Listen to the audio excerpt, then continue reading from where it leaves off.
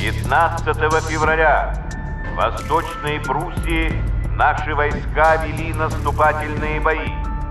Войска Второго Белорусского фронта, продолжая наступление, овладели городами Хойницы и Тухоля, крупными узлами коммуникаций и сильными опорными пунктами обороны немцев в западной части Польши.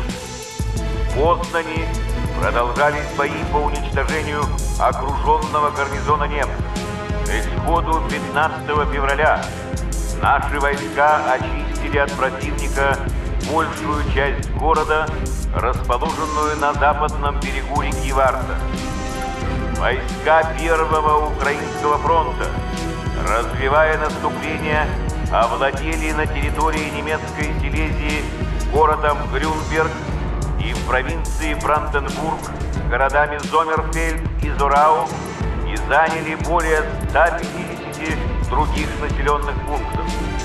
На 15 февраля на всех фронтах подбито 117 немецких танков в воздушных боях и огнем зенитной артиллерии сбито 39 самолетов противника.